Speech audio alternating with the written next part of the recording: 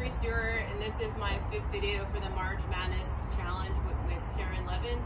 And um, today we're going to kind of build on what we've been doing earlier in the week with doing a toe drag and then the backhand to yourself. So this is a move that you can do against any player. You look really cool doing it, and hopefully you can do this uh, while doing it in full speed. So let me uh, break it down for you guys.